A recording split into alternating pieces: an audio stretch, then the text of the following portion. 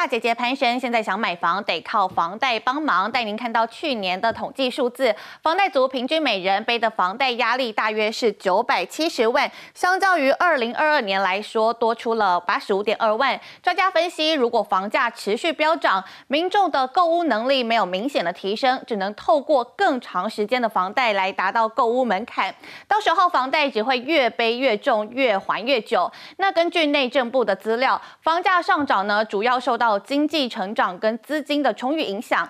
二零二三年的内政部住宅价格指数平均季涨幅来到了百分之一点六六，相较于二零二二年平均季涨幅百分之二点零七来说，其实已经趋缓了。不过看到人力银行发布的最新调查，其中上班族呢有百分之三十三点四名名下有房，但是每个月需要缴的房贷金额平均是三万多元，占了月薪的百分之七十二，其实占比蛮高的。那全国的房价所得比呢，来到了九点九七倍的新高。